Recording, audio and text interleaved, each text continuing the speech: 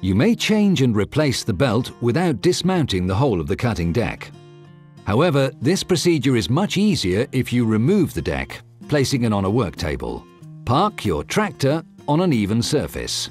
Engage and lock the parking brake. Lower the deck. Disconnect the belt tension cable in the middle of the deck like this. Remember that this cable is spring-loaded, so ensure that you have a firm grip on it. Remove the belt from the front pulley as shown. Then unfasten the front locking spring and lift off the bar.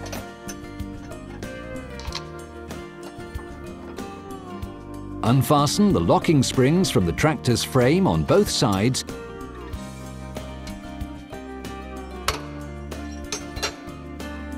and then the rear springs on the deck.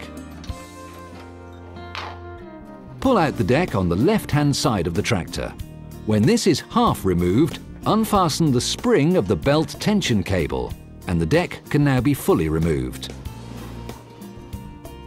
Mount the new belt as shown from the front of the deck.